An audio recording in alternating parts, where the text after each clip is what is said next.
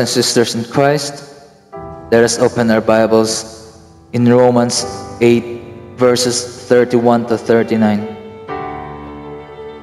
What then shall we say to these things? If God is for us, who can be against us? He who did not spare his own son, but gave himself up for us all, how will he not also with him graciously give us all things? Who shall bring any charge against God's elect? It is God who justifies. Who is to condemn? Christ Jesus is the one who died. More than that, who was raised, who is at the right hand of God, who indeed is interceding for us. Who shall separate us from the love of Christ? Shall tribulation, or distress, or persecution, or famine, or nakedness, or danger, or sword? As it is written, For your sake we are being killed all the day long. We are regarded as sheep to be slaughtered. No, in all these things we are more than conquerors through him who loved us. For I am sure that neither death, nor life, nor angel, nor rulers, nor things present, nor things to come, nor powers, nor height, nor depth, nor anything else in all creation will be able to separate us from the love of God in Christ Jesus our Lord. What a comfort it is for us, knowing how our Lord Jesus Christ has loved us. A love that has cost His life, a love that has caused a sinless to be condemned for sinners, a love that justified a sinner, a love that protects, the love that binds us to God through Christ, the love that saved us. Neither death nor life, neither tribulation, sickness, pandemic, poverty, nothing can deprive us of the hope we have in Jesus. What a tremendous, beautiful, uplifting, assuring the love of Christ is. All glory belongs to Jesus, our Lord and Savior.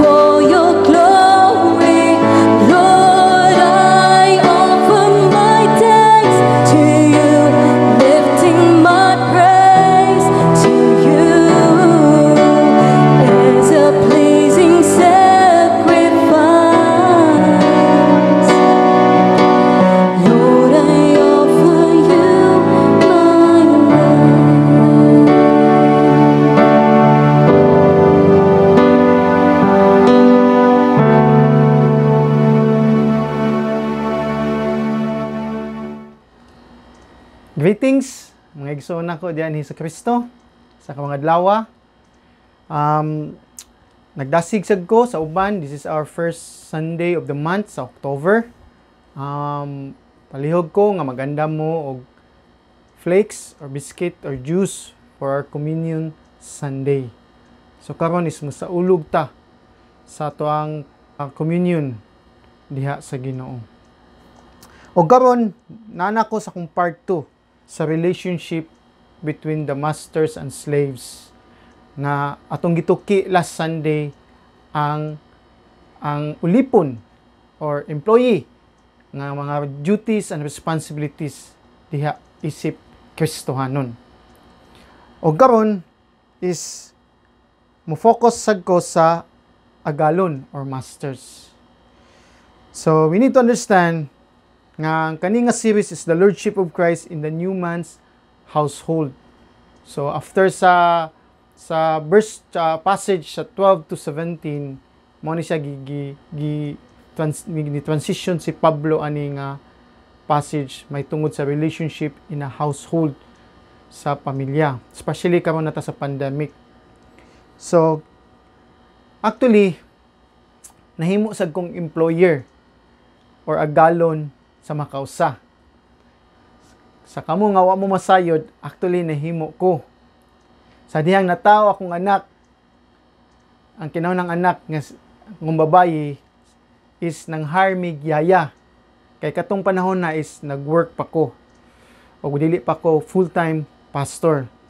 So at that time, actually daghang kay adjustment as an employer kay wa kay ako mismo is wa ko kasuway ani nga gadako sa gadako ko nga akong mama rin ni take care.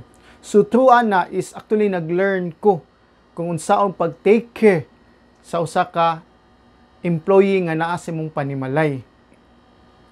O katong time is Kristohanon ako. But at that time nga mahimo na mahimo kag employer or nakay katabang or yaya sa imong panimalay, actually tanang benefits nga nasa panimalay is mayaha gyud libre sa kurente, kaon. At the same time, as a Christian, is actually ako siya tagaan gyud mga pribilehiyo nga apil siya tanan kung unsa yang makaon diha kung unsa yang gustong kanon. But mo amazing kayo at that time is napasar to kasambahay law which is law ang balaod nga naay gi-require nga amount sa sweldo sa monthly sa Osaka, yaya or katabang sa panimalay og labos tanan is kuan gud sila mga benefits sa PhilHealth og SS. Actually sa akong heart um ato panahon na kay mi sa akong wife is magbugat na kay tanan nga kung kung tagaan pa. Pero sa dihang nakadungog ko, siya mismo nakadungog sad, lisod kay itago ang kamaturan, especially Christian ka. So diha diha dayon actually amo ding gi-work out ang iyang PhilHealth og SSS. So mga usa ka butang nga uh, duties sa employer diha sa employee. Nga imo yung tagaan siya sakto what is due to them according sa balaod sa sa nasod. So mo tong time uh, nga gikuan gyud og napasa ikaduha nga niyaya sa is gikuan gyapon at the same time na mahawa pagyapon. So mo ni angay natong masabtan as a Christian employers, we need to know our responsibilities or duties sa employee or sa atong katabang kung namagay mo katabang kung namagay mo company. Or ikaw sa ka-superior sa company is dapat kibaw sa ta sa atong duties. Because we need to understand as a believer of Christ nasa tay authority mga slabaw pa natog makita din sa atong passage nga mao si Hesus Kristo. So ma-apply ni nga mando ngadto sa mga employer nga na mga business or even manager or supervisor nga kay because nagyoy mando si Pablo nga iyang gihatag nga angay ihatag angay pod itratar sa usa ka empleyado. So even sa Old Testament gitudlo na gyud na nagibalaw ng Ginoo. So how to take care the employee. Na si mando sa mga masters or sa mga employer nga naa sa panahon sa Israelites. Daghan kay mga tawagan ni um, mga mando sab og nagi kanang consequence usab kung dili maayong pagdala. So atong makita din nga mando importante gayon mga hipawan isip Christian employer or Christian nga kanang agalon. Importante sad makatunan nato nga nga sa mga Christian kay tungod employee ta una sa tanan employee pud ta sa Ginoo. Manong makita nato is na natay pattern unsa tangang klase if we know the scripture if we know Christ na natay pattern mo na nga mo raise up gid atong conviction gyud diri nato mapahinumduman kita nga aduna gyud tay pinakalabaw nga employer nga nasa langit which is si Hesus Kristo. So morning mga pangutana nga angay natong tubagon. Unsaon man pag pagtratar sa Christian employer ang ihang mga employee. So kung naman kay kung naman kay katabang or nakay company or business diya nga naghandle og tao, unsaon na to pagtratar gayud sa tong employee as a Christian. Unsa man ang ground or foundation ani nga mando nganong ato gining tumanon dito is- eh, isip Christian employer. So, sama sa ingon last Sunday, so kaning master and slave relationship, ato lang itandi sa panahon na to karon employer and employee relationship. Kay sa panahon ni Paul, ay sa panahon na to karon wala man tay slaves karon. So sa panahon man ni nga Paul. So and we all know that the context of this command is the qualities of a new man. In Colossians 3:12 to 17 nga nasayod usab ta para mabuhat ning mga mando nga gimando sa usa ka household sa panimalay is dapat ato gyud isulob ang atong bag-ong tao or mga hiyas sa bag-ong tao nga mo ang compassionate heart, kindness, humility, gentleness, patience, bearing and forgiving one another ug above all nga mubahin ani tanang karakter or tanang hiyas nga kaningang quality is love. And through these things, mahitabo lamang ni kung napuno ta sa pulong sa Dios. Let the word of Christ richly dwell within you in verse 16. So kay mao ni ang mo control sa ato pagpagawas sa mga hiyas. The same parallels na sa Ephesians nga the spirit-filled believer. So ni nga sa mga butang nga atong ma-learn sad nga nga context ani. So what is the kind of Christian employer, Christian's employer that God expect? So let's look in Colossians 3:18 to chapter 4 verse 1. Mo ni siya kung title The Lordship of Christ between Masters and Slaves part 2. Nga nang part 2, mo to ang part 1 to last Sunday is about sa slaves. Og atong nakatunan diha unsa pud ang duties sa slaves. Actually the same ra sila. Na usab gyud direction, usab gyud goal and motive ani isip Kristohanon nga employer ug employee. So akong basahon, let's read uh, verse 18 to chapter 4 verse 1. Wives, be subject to your husbands as is fitting in the Lord. Husband, love your wives and do not be embittered against them. Children, be obedient to your parents in all things, for this is well pleasing to the Lord. Fathers, do not exasperate your children so that they will not lose heart. Slaves, in all things, obey those who are your masters on earth, not with external service as those who merely please men, but with sincerity of heart, fearing the Lord. Whatever you do, do you work heartily as for the Lord, rather than for men, knowing that from the Lord you will receive the reward of the inheritance. It is the Lord Christ whom you serve. For he who does wrong will receive the consequence of the wrong which he has done, and what and that without partiality. Masters, grant to your slaves justice and fairness, knowing that you too have a master in heaven. Magampo kita. Among langit ng umahan, salamat, salamat kayod Lord sa imong pagsustain kanamo. Dalaygon ka Gino, ang ayan gyud ka himayaon og takas takos gayud ka simbahon o Lord. Ug Lord, amo ni pataas kanimo amo panagtigom. Salamat Lord sa imong provision nga imong gihatag namo sa tibok simana Gino because until now Lord ikaw nagsustain ka namo. Himoa Lord nga ikaw magpanglihok sa mga kalag nga naminaw karon og nitan-aw Lord through sa online Ginoo. Especially Lord sa mga katawhan Lord nga mga Christian employer o God an employee Lord nga naminaw karon that they may understand this command o God. And we pray, Father, that you open the heart of men and women, Lord, nga naminaw karon through the Lord Jesus Christ, O God. And Father, I submit to you myself, O God. Lord, help me to, to give me a clarity of speech, O God, that your name alone be exalted. Thank you, Father. In Jesus' name we pray. Amen. Amen.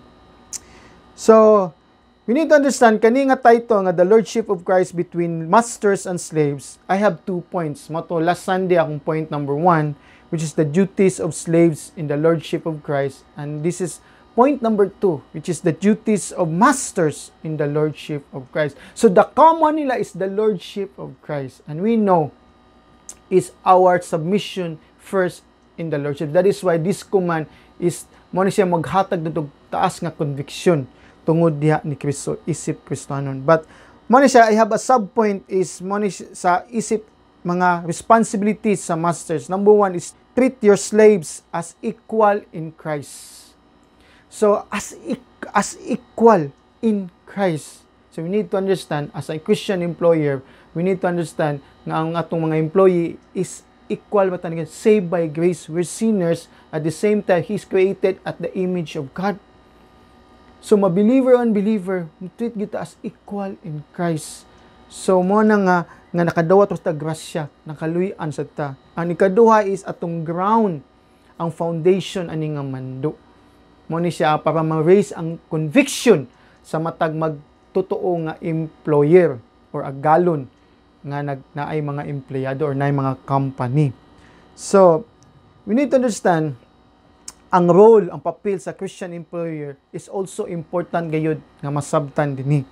Because every person nga gisilbihan sa lugar sa workplace for the extended amount of time will typically at some point promoted a position of authority. So therefore, it is important for us to learn how to lead in such a way that honors God as Christian employer. So as employer, dapat ay pakita na to is how to lead to the employee as a godly leader nga angay ginatong masabtan sad. Pero tanaw na to una dinhi ang background sa kaning nga gimando ni Paul sa mga employer. So si Pablo naghatag siya ani nga pagtudlo sa panahon sa ihang time. And we need to understand ang background ani ang mga papel sa ulipon, ang pagtratar sa ulipon. Mo nang gitutulad treat your slave as this can as equal in Christ. Because sa panahon ni Paul, ang mga ulipon sama, sama sa gingon ni William Barclay, ningon siya dinhi about slavery in the Roman Empire. Akong basahon, quote, The slave was a thing in the eyes of the law.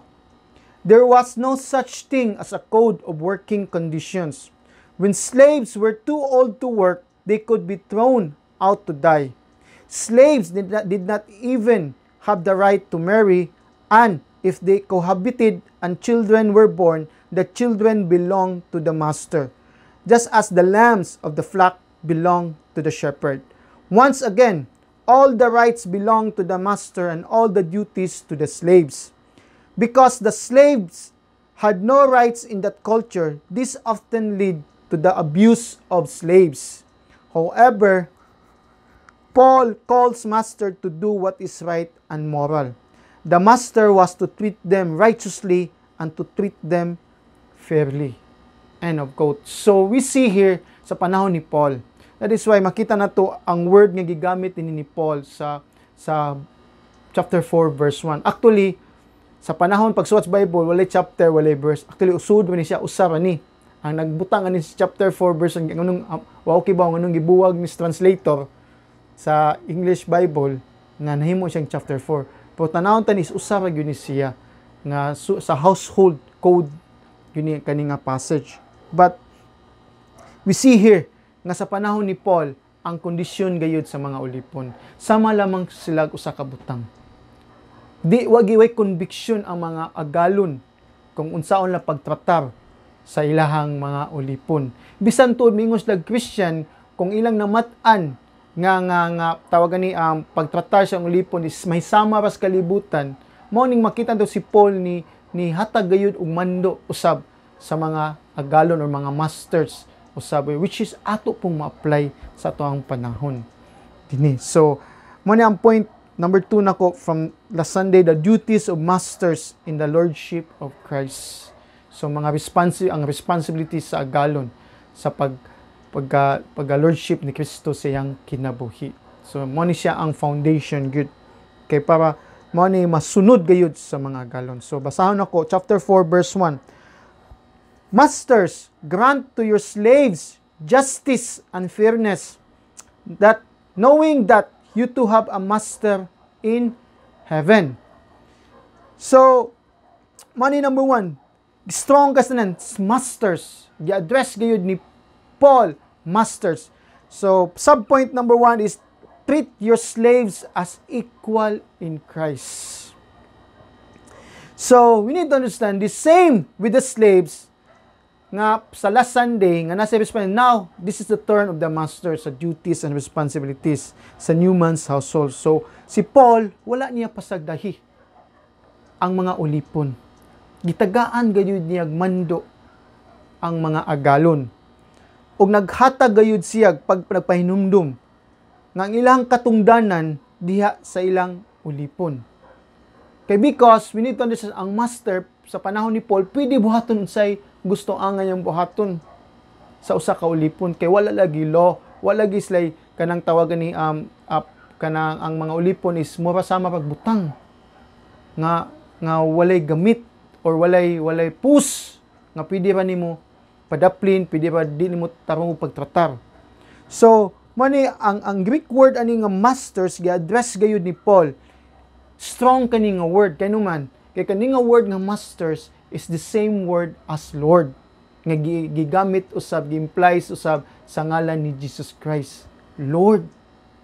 So nga ang meaning sa Lord sama sa gingon last Sunday is the honor na nag-iya or possessor tag-iya gayud og labaw sa tanan naay control sa usa ka tawo, naay pagbuot sa usa ka tawo nga siya bagi unsay angay ang buhaton sa tao na siya pagbuot siya bagi matuman so in the present context makita to is, is one having legal power and control over his own property.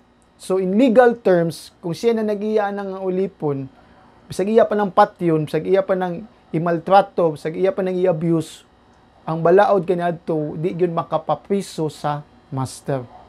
So mo ni dinhi nito makita nga strong sa gyud kay ang mando nga gihatag ni Paul sa mga agalon nga word nga yang gigamit nini.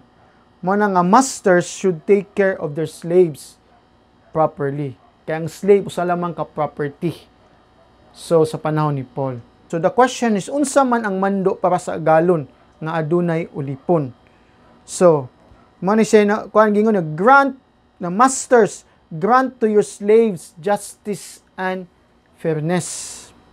Kanila nga statement ka nagsulti na siya katungdanan sa agalon relasyon sa iyang ulipon. So we see atong makita nga ang gisulti ni Paul nga gigamit niya nga word dinhi is grant which is the meaning is to treat or to give or to provide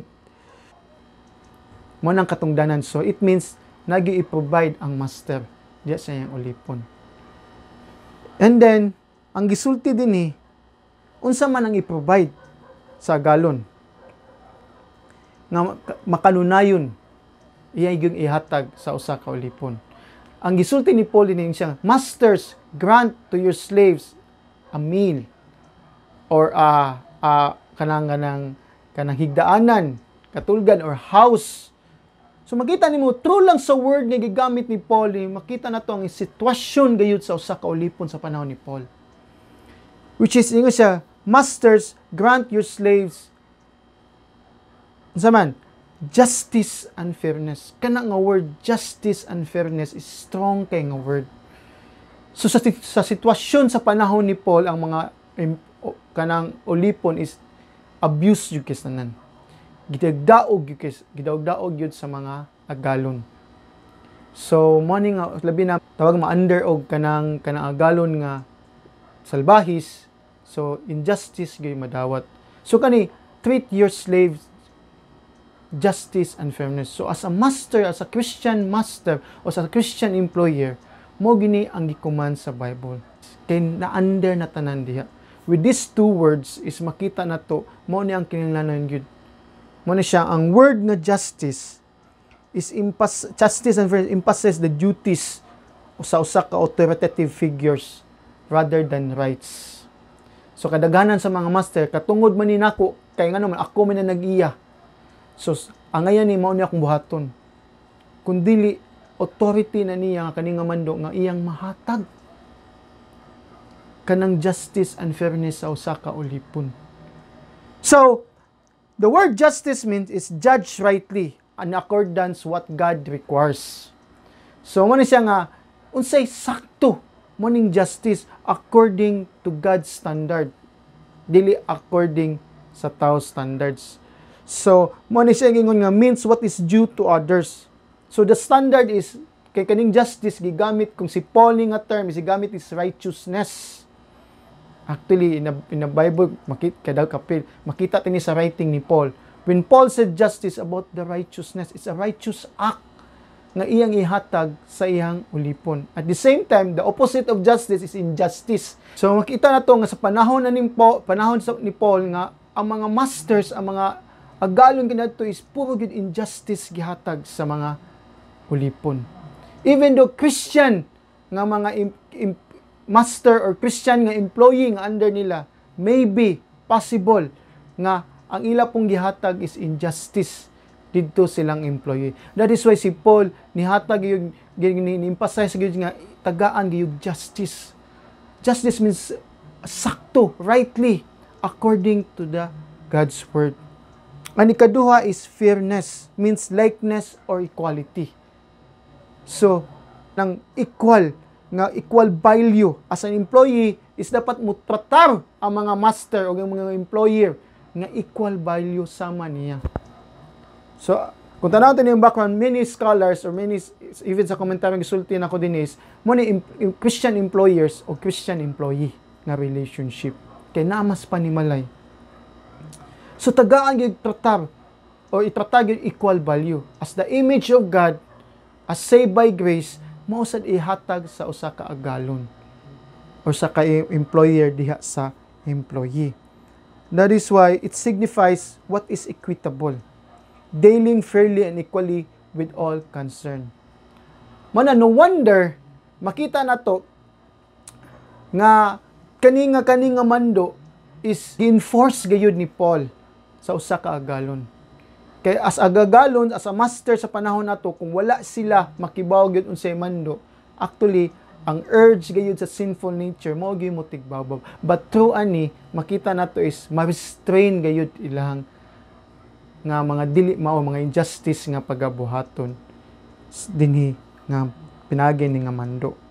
So, but dili lang kana as an employer also, we need to treat the employee. Kung employer may ka, nga with justice and fairness. According sa unsay sakto sa ato especially sa balaod nga gihatag sa ato ang government. So kay because a lot of mingon Christian employer pero kadaghanan is mo violate sa pamaagi sa Ginoo. Mo na ni mo tani nga kung nakadungog mo ani or even kung supervisor ka or, or superior ka sa usa ka company nya believer ka mo na dapat is dapat ato gitagag equal nga pagtagad. Gayud ang mga tao nga under nga gihat gidha kanimo. According what is right sa according sa Ginoo. Dili lang sa empleyado dili lang sa company.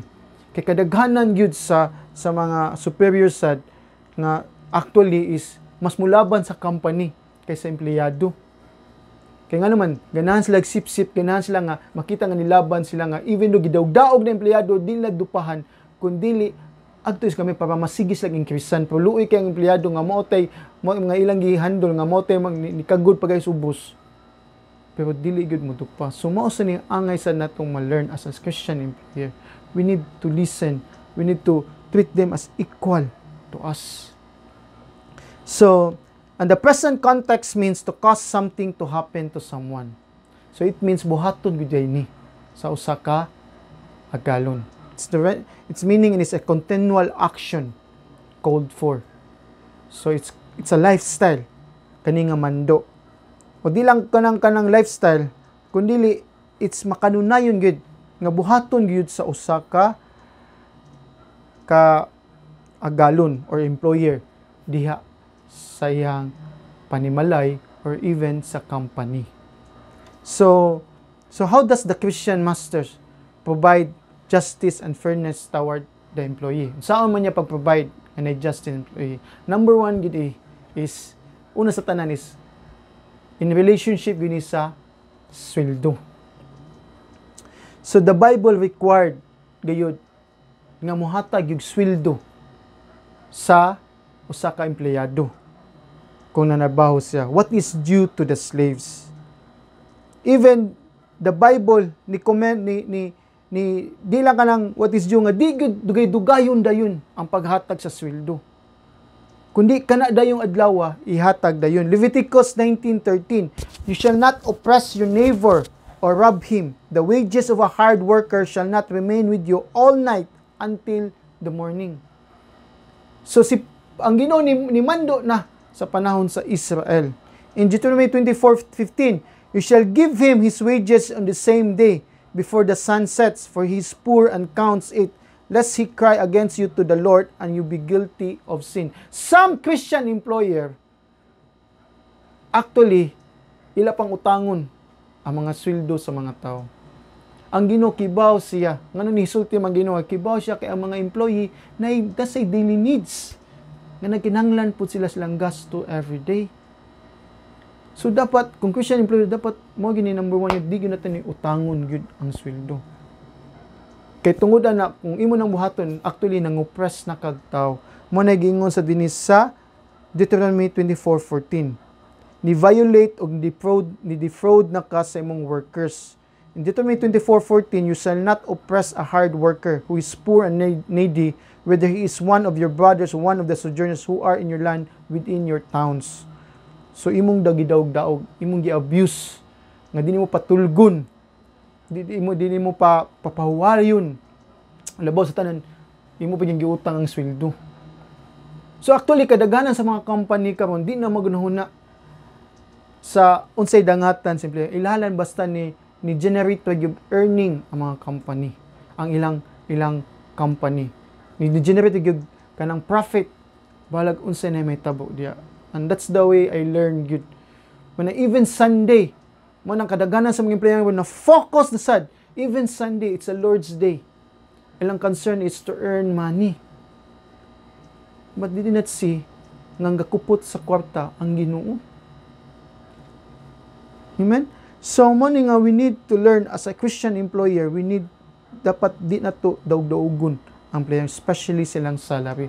One of the things nga ako na-learn sa akong lolo, kaniyadto kay namami shop, kamay pa ko trabaho pag ko, trabaho sug ko. Even though he is not a believer, but iyang principle gyud, di gyud niya utangon ang sweldo sa mga tao. Kay once nga utangon sweldo sa mga tao, ang mga tao di na mo tabog sa trabaho. Ya kakita siya sa need pud sa mga empleyado nga nanarbaho siyang shop. Mangita gyud siya pamagi nga makahatag gyud siya salary. Bahalag wa, wa pa siya earning basta mahatagan gyud iyang mga empleyado og salary. So that's the thing even the, the ungodly kung makathink man nga na how much more the Christian kung Kristohanon ka. Dapat ingana unta atong unahon gyud. That is why kung imo ning buhat nga sa employer nga ni pros ni oppress ka sa employee nga dili ka mohatag sa iyang sweldo dayon na warning ang Bible in James 5:4 ningon si Santiago sa mga dato nga mga negosyante Behold, the wages of the laborers who move your fields, which you keep back by fraud, are crying out against you, and the cries of the harvesters have reached the ears of the Lord of hosts. So may tabuan ni kung mga cry out na sila, madunggan na sa dunggan sa Ginoo makita nimo ang muna sa makita nato nga ang Ginoo naagi dito sa mga nigdapig gyud sa mga oppress. Nidapig gyud dito sa among-amungan. Muna kung wa magkakita mo ni tuhuin ni nga pulong sa Ginoo. If you cry out to God he will hear you. Muna yan give you justice. One of the greatest things one of the greatest things a, Christian employer can do is set the standard in how he pays the wages of the people who work under him. Mao na makita na to karon ang rights sa mga employee na ibalaod ang doli. Ug atong nidunggan karon sa tungod sa pandemic, nakadungog ko sa news, actually 5,000 supposed to be kapin ang mga retrains sa sa MEPS sa economic zone sa Lapu-Lapu pero karon ni down to 4,000 kay sila mismo nakigstorya sa mga employer nga kung mahimo kanang ipales pa gyud. So mo na siya we need to understand to pray for our economy because of this pandemic daghan na gyud ang wa trabaho. Mo na nga sa kabutang sad nga makita na to nga asa nga nagi rights ang mga employee but as a Christian master or employer dapat taas atong conviction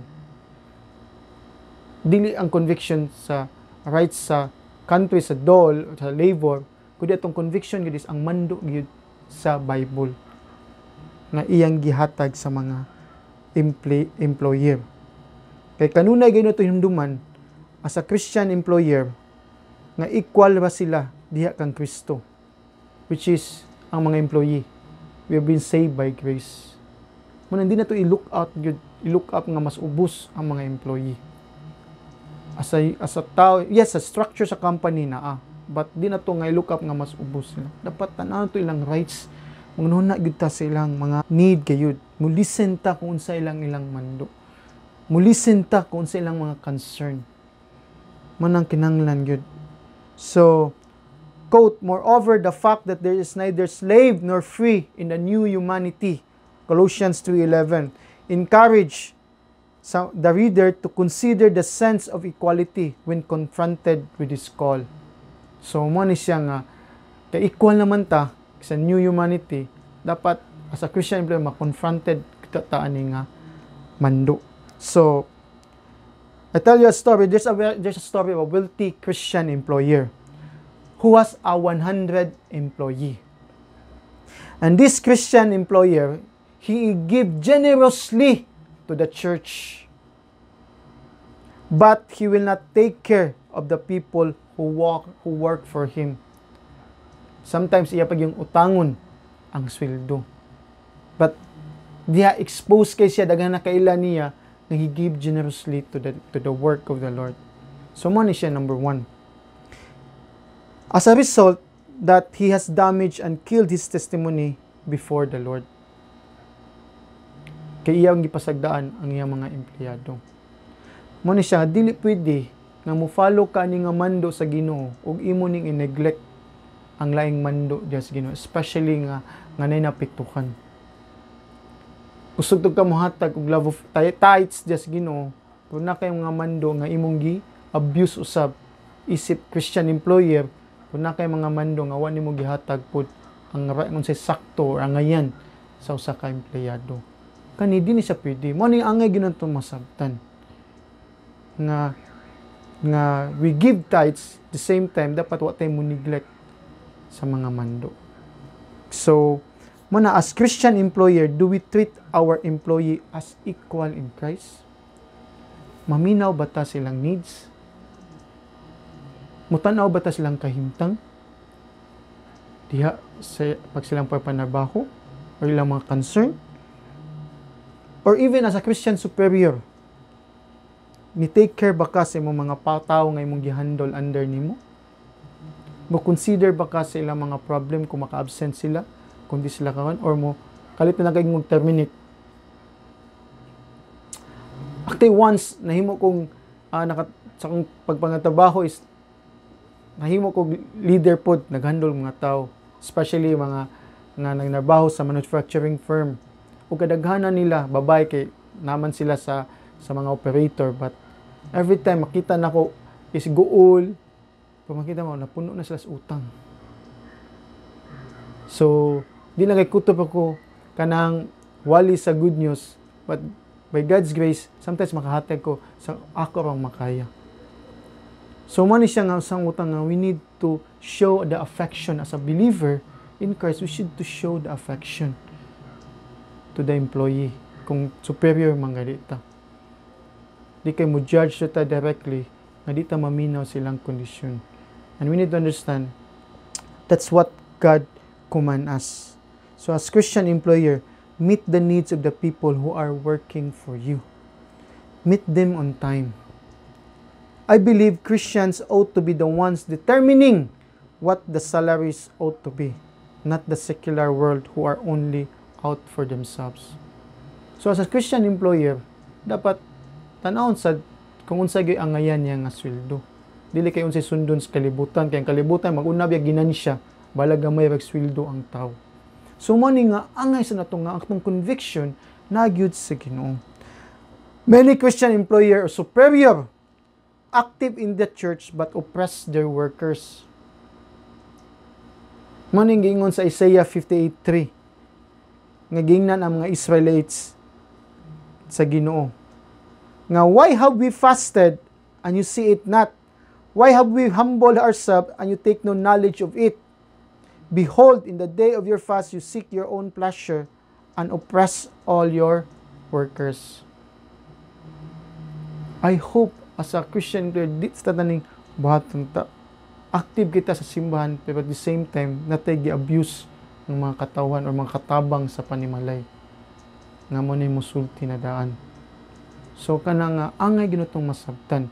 Good. So, unsa man ang foundation or ground sa kaning nga madto ngadto sa mga employer, employer sa mga galon o sa mga superior para mo raise an conviction sa employer mo ni ang ground mo ni kaduhan akong subpoint ground for the command knowing that you two have a master in heaven so gibalik ni Paul ang object or motivation agto gyud balik sa Ginoo sa usa ka agalon It means the word knowing is you know, kibaw ka personally nga as a mas as a employer din ni sa kalibutan, empleyado ka usab diha sa Ginoo.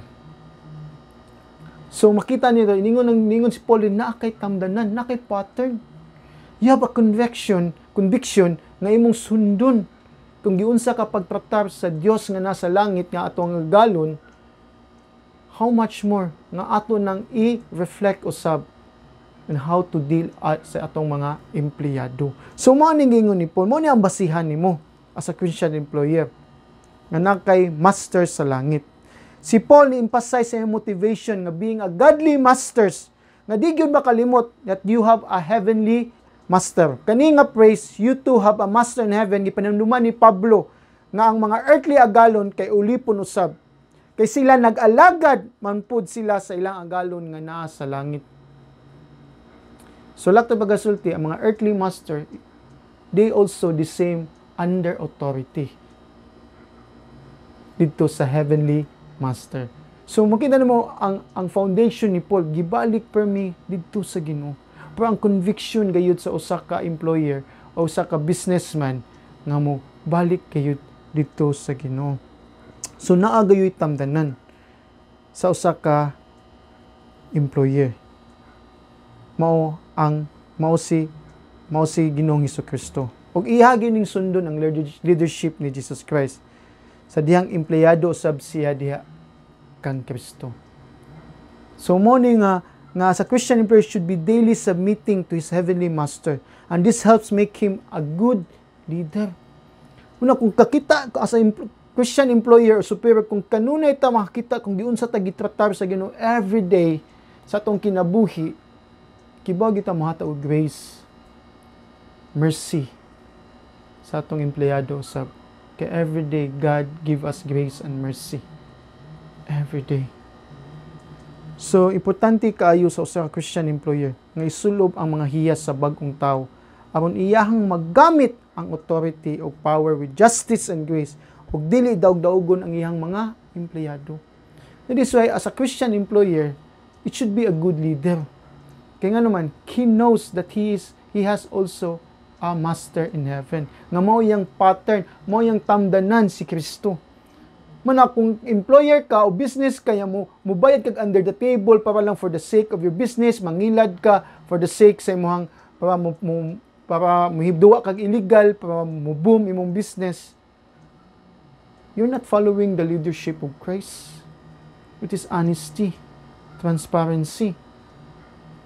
So, sa, sa Christian employer, dapat ang atong lead kanang kung kuwangit ang ato ang function also is to lead to be a good leader to represent Christ sa atong company or sa ato ang business nga atong nga trust diha sa Ginoo kanato so while some of us may be masters on it on earth. We must exercise this function with the full understanding that we too are but servants of the Lord who is master over all. So, mao gini ang na to pamalangan nga we are also an employee and we have also a master which is Christ Jesus. Muna kung ikaw agalon kung di nimo tarong magtrata pagtrata imong empleyado manubag gyud ta sa Ginoo. Manubag gyud ta give account. Moses make sure you're acting justly, lovingly, equitably. Sure, you might be a place of power and prominence now, but never forget you will one day stand before your master and give account of what went on through your life and in your heart. End of quote. So God will judge masters whose mistreat, mistreat their slaves as he will as he will slaves who fail to serve their masters. So gidescribe din ni Paul nga ang usa ka galon kung mumaltrato sa usa sad ka empleyado manubag gayud siya sa Ginoo. Kay hukman usab sa Ginoo. Kung nihatag siyang injustice, God will answer sa iyang mga action. Muni kuyaw gayud sa mga Christian employer kung magpadayon ta aning mga putanga. So the Christian employer should be a good leader because he learned followership from daily submitting to Christ. He is loving God, obeying Him, and serving Him. He knows by experience what a good master looks like, and therefore he can demonstrate it. I know, as a believer, dagang kita question nga ang unbeliever nga employer, di di ka ka-expect kana. Dili man tanan, but makita nimo nagyunay duwa gyapon ni deceitfulness. But we need to understand ang Ginoo manubag gyapon sila sa Ginoo. Whatever injustice nga gihatag sa empleyado, after all ang Ginoo Ginoo mo give account sila sa Ginoo. But as a Christian employer dapat di na nato buhat. Mo raise up unta atong kaniya tong conviction ani. Mo na kung ikaw na makikatabang sa iyong panimalay or yaya or helper nga imong gipa imong gipempleyado sa mga mo na give it what is according what is right and just nga according sa balaod sa tuang nasod usab. So mo na nga we need to understand these things kay we know that we have a masters in heaven. We need to follow the example of Jesus Christ who is a faithful master and full of grace and mercy. Di lang kay ang unahon kanunay na lang sa employer, Christian employer is iyan na lang business, yung ginansya, bisag yung mga tao na sakit na, Tinga- na ubang ang unbeliever employee, unbelieving nga employer, inga, nak-experience ko ana, nga di ka papaliyon, pabutay mo ka, basta mahuman, basta maka, basta yang yang yang company, maka profit. Tapos sa dihang na, na sakit ko, nabay buwak, nga nagpada nga, nibati siya nimo, wa, gyud. That is why as a believer, we need to understand, first of all, we have a master first in heaven. Siya yun mo, una mismo mo submitan niya. We need to balance the way we serve in this earth. Okay, we need to have a master. I we know we have a master in heaven. Why is knowing God is our master? It lead us to to good employer or superior. Because natay pattern. Ito is conviction. That's why gitawag tag followers of Christ. So kung kung employer ta, yak yak kibaw ta nga master nga nasa langit, it lead us in a good character, good attitude, the way what Christ unsa sa gihimo dinhi ni Kristo ni nato. Mo na nga dapat mo conform ta in the image of Christ as a Christian employer or a Christian superior. Employer, are you treating your employees like you would desire the Lord Jesus to treat you? Imo ba gitratar ang imong mga employees nga mao'y gitinguha sa ni Jesus Christ nga itreat nga gitratar sad ka. Every day receive grace and mercy sa Ginoo. And He is faithful. Mo sa tanan atong itatar usab, mo ta na atong foundation. So the question is, mo na yung question itong manggawas isip Christian, employer superior. What if naka-employee nga nga ni-claim mo Christian niya badlungon? So, mo na siya, imo isud ang employer-employee relationship or superior-employee relationship as a Christian. Also to minister to her, to him, or to her.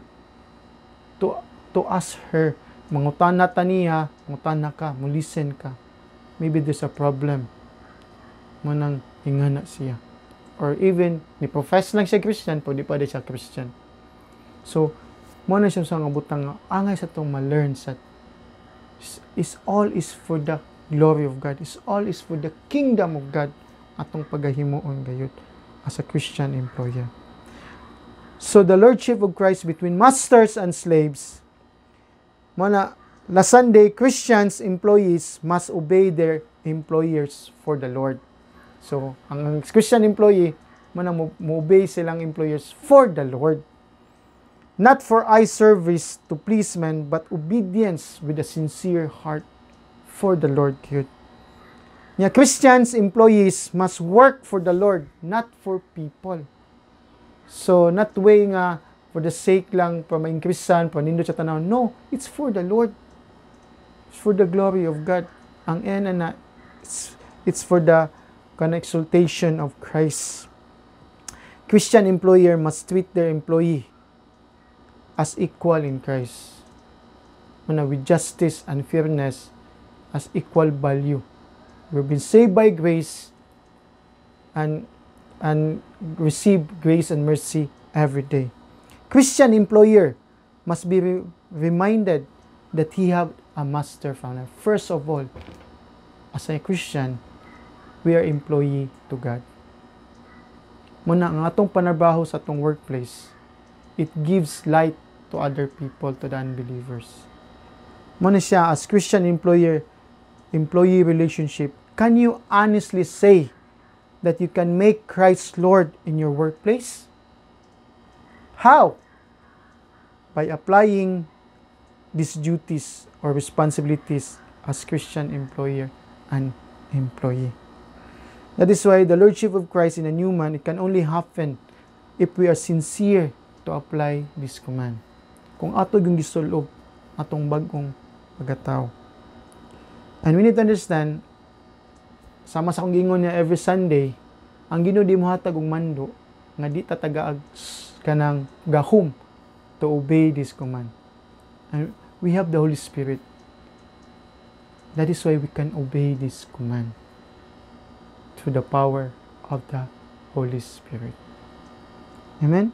So be enthusiastic to obey this command.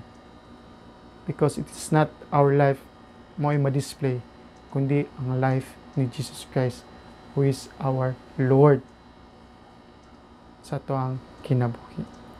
Amen?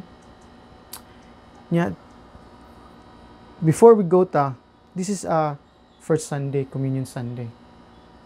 And those who hear nga nakadungog ani nga wali, kani nga mga mando dinhi mahitabo nimo. Kaya number one, wala kay gahom sa pagtuman ani. Ikaduha, di sa nimo ma-apply because wala nimo mo ang lordship si Jesus Christ imong kinabuhi. May tabo lamang ni kung imong dawaton si Jesus Christ as personal Lord and Savior sa imong kinabuhi. Dinhi ma-appeal ka sa lordship household in a new man's household. So unsa may ang buhaton nimo? Una sa tanan, dapat mo ila kang ikaw makasala ka. Ang greatest concern nimo is maimperno ka. Managingon sa Bible, for all have sinned and fall, fall short of the glory of God. Tanang part sa tong pagkatao is sala in Romans 3, 10 to 18. And the only thing can help you is Jesus Christ. Wala lang makatabang mo. And all you need to know is to accept and believe Jesus Christ as personal Lord and Savior sa imong kinabuhi. O pinaagi na masayod ka nga imong gidawat si Jesus Christ. Ang muso ang og og kaduha is mo mo, mo repent ka. Maghinulsol ka sa imong mga tanang sala. Mutalikod sa sala ug matubang ni Kristo nga dunay pagtuo ug mo follow na diya kaniya. Mahimo na ning posible kani nga mando nga maangko nimo kung imo na sincerely sa imong heart nga imong gidawat si Jesus Christ Lord and Savior. O tungod ana nga imo nang gidawat makaapil na ka sa communion. So I encourage everyone to get your flakes and juice.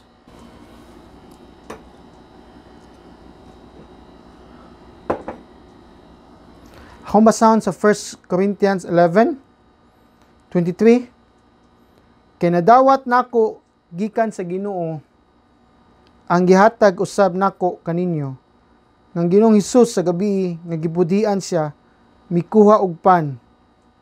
Og sa nakapasalamat na siya kini iyang gipikas-pikas og mingon. Kini mao ang akong lawas nga gipikas-pikas alang kaniyo buhatan ninyo kini sa paghandom kanako sa samang paagi human sa panihapon ang kupa gikuha niya nga nagingon kining kupa mao ang bag-ong kasabutan sa akong dugo. Buhatan ninyo kini sa mataginom ninyo niini sa paghandom kanako kay sa matagkaon ninyo niining pan ug mataginom ninyo niining kopa gisangyaw ninyo ang kamatayon sa Ginoo hangtod sa iyang paghani. Ug nasayod ta kaning biscuit or juice is a symbol lamang ni sa gibuhat ni Jesus Christ dito sa cross. Nga kaning biscuit is mao ni ang lawas nga nadugmok. Lawas ni Kristo nga nadugmok dito sa cross alang sa tong sala. Ug kaning nga juice symbolis mao yung dugo nga yang giula apan paghugas sa atong mga sala. Ug sa atong pagpartake ani ni ilata nga sa iyang pagbalik apil na ta sa iyang gingharian and before we partake let us ask forgiveness sa Ginoo. Amo lang itong amahan Ginoo salamat salamat Lord sa imong sa imong mensahe karon Lord. Himo ah, Lord nga ma-apply ni namo. Isip nga mga employee isip nga Christian employer Lord and employee of God. Ug kani Lord sa mong pagpartake kani nga lawas Lord nga simbolo lamang Ginoo Lord kaning biscuit o kang juice Lord kaning elements nangay gumi pasaylo Lord and help us to take it seriously Lord nga sa mong pagbalik Lord na appeal nami diha sa mong gingarian. Salamat Ginoo dalaygon ka. In Jesus name I pray. Amen. Amen. Let's partake the element.